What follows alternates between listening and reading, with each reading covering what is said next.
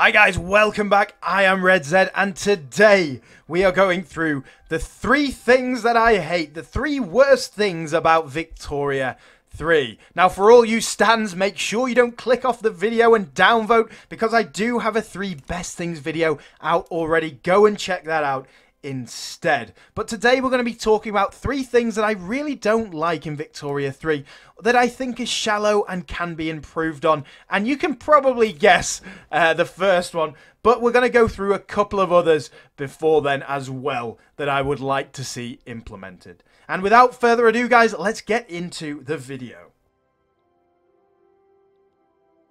So the first thing that I don't like about Victoria 3 is the political system and the radicals and loyalist system.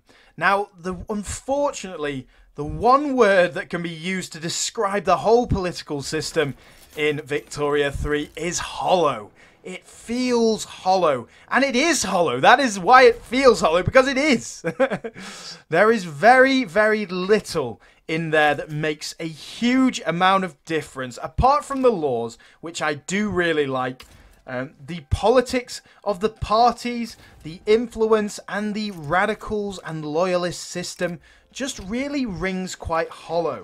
The politics doesn't really make sense. Parties get voted in, and you can just get rid of them straight away without any real effects. You can just get rid of parties, you can add parties in, you can play around with them, and it really doesn't make that much difference apart from the laws you're going to pass. So every law you want to pass, you just put in the parties that are going to pass that law, start passing the law, and it's fine. There's not really too much to do there. On top of that, there isn't a huge amount you can do to make the parties happy and unhappy outside of laws. Laws are the only thing that makes them happy and unhappy, apart from random events. And in my opinion, it needs to work very much like the estate system in EU4, where you can improve your relations, improve the influence of parties through different events, apart from just the bolster and suppress mechanism, which is pretty much a band aid on a gushing femoral artery wound. It's, it doesn't really add too much to the system at all. So when you're in the politics, it just seems sort of hollow and, and useless and, and not really that important to the game overall. So really it needs a huge, huge overhaul, I would say. And that could be fixed very quickly with sort of estate mechanism um, mechanics like uh, EU4 where you can bolster them, you can make them unhappy, you can add more influence to them through different actions that have varying effects like minus prestige, plus prestige, minus goods produced to make them happier. Those sorts of things could really add a lot of depth to that system that is very much lacking right now. And it's so sad to see because politics is such a huge part of this time period and this game that it just needs so much depth and flavour and it just hasn't delivered as of yet. On top of that, the sort of loyalist and radical system doesn't really have that much explanation and I find myself playing through games having loads and loads of radicals like my Netherlands campaign. Check that out in the description down below guys. Quick plug. Um, my Netherlands campaign my radicals equaled like a quarter of the country a quarter of the country pretty much within the first couple of years.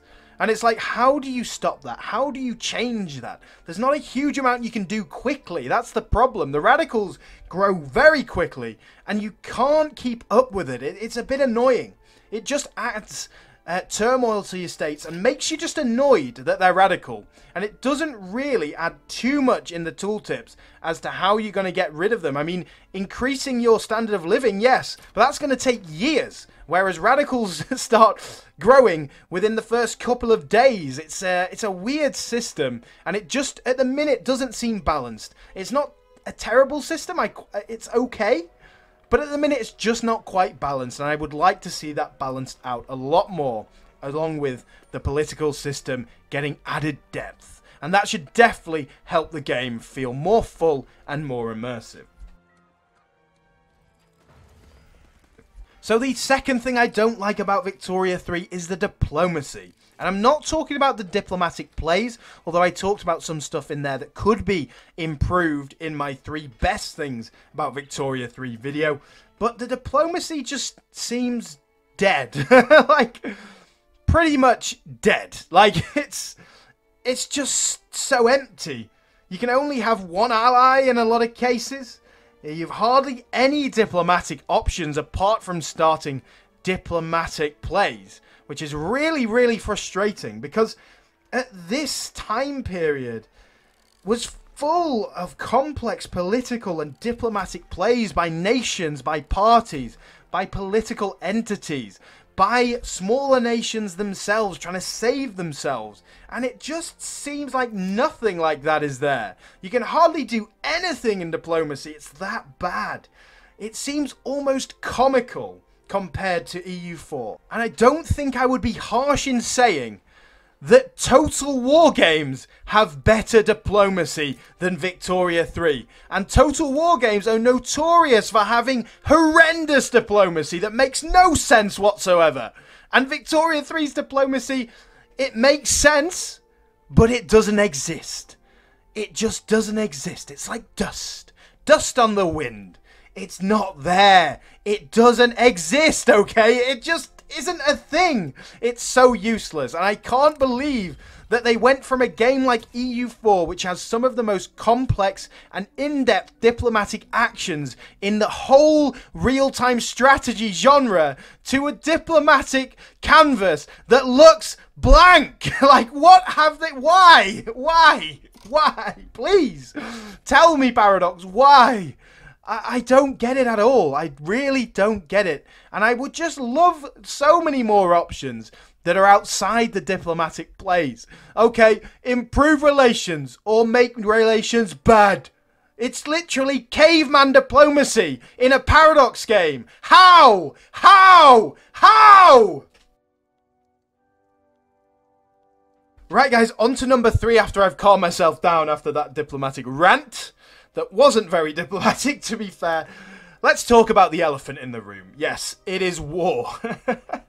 it is war. yeah. War. Yeah, that's a thing in Victoria 3, apparently. But I haven't seen it yet. It's very much like diplomacy. It, it, it's a thing, but it doesn't really exist.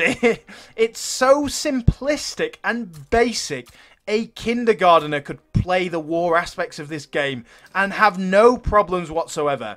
And if they were going for that, then they shouldn't have. That is the wrong thing to go for.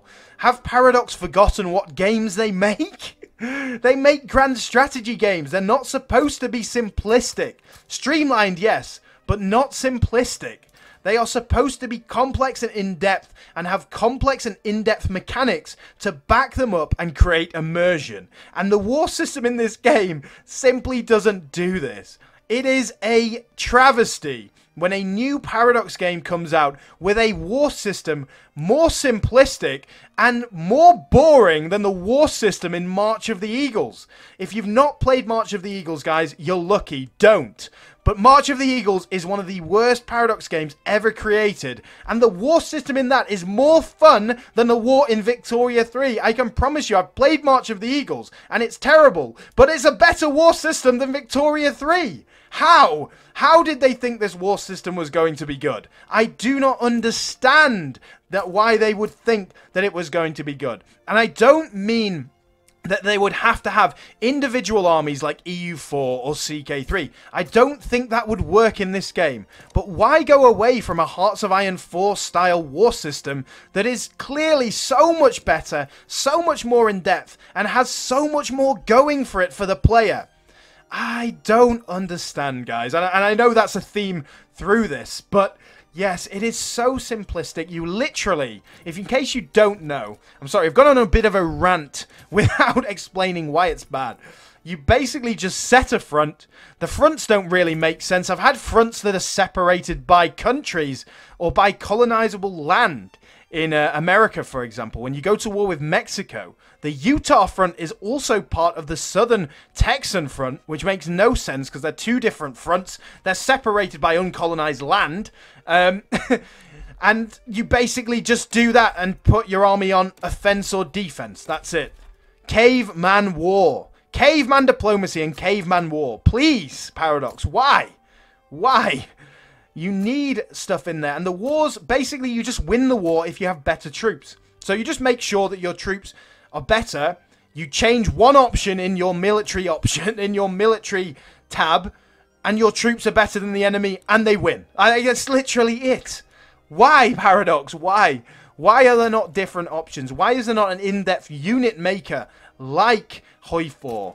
Why is there not options to create different fronts, to go on spearheads, to take a undefended front and go and take it, to go straight for the capital. All those should be options, but you have nothing. You are literally a spectator in the wars. And that is not how a Paradox game should be. You should not be a spectator in any element of a Paradox game, in my opinion. You should have a hand in everything. That is the whole reason why they're good. You should not be a spectator in the wars. They're one of the main aspects of the game.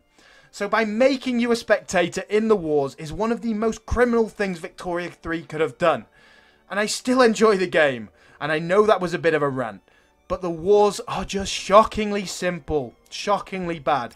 And I will be bringing out a video on three reasons how they can improve the war system from the base system they already have. Not com completely remaking the system, but improving that system dramatically. Well, guys, I was not expecting it to get that heated. but I hope you enjoyed. Please do subscribe because I am playing Victoria 3 at the minute and I will have more Victoria 3 videos coming out as we're going through the weeks. So please subscribe and like this video. That would really help the channel out. Thank you very much for watching, guys. It's been a pleasure as always and I will see you all on the next video.